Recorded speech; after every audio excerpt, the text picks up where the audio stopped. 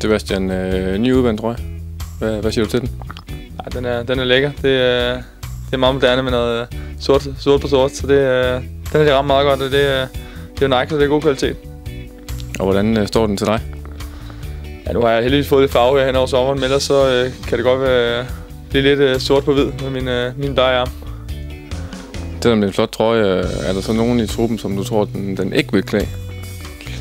Ja, selvfølgelig. Øh, nu har han lidt grå og kedelig generelt øh, stoffer, og så det er jo ikke øh, så farverigt, men øh, jeg tror ikke, han kan bære sådan en trøje. Det tror jeg ikke. Generelt så er han ikke så, så pæn klædt, og sådan en flot trøje som den her, den tror jeg ikke øh, går så godt i spænd med ham. Men du er godt tilfreds med den. Øh, hvor er det nu, den kan købes sådan? Sport 24.